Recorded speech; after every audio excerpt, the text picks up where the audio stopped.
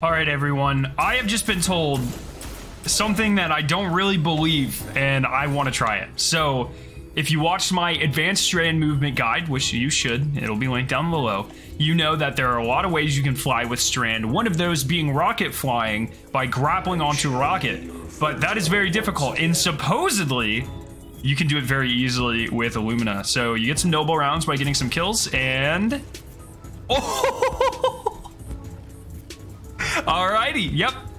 Uh, so first try, able to completely traverse the Hellmouth. Oh, that's actually insane. That's awesome. One second. I want to see if I got lucky or if this is really um, that consistent. All right, so I got my noble rounds back, and I just want to see if I got lucky the first time or uh, if this is actually. Oh, I mean, this is. It seems to be pretty consistent. That is actually crazy. How far does it take you? Because I know Lumina bullets disappear. I didn't even know they went that far, to be honest. Holy.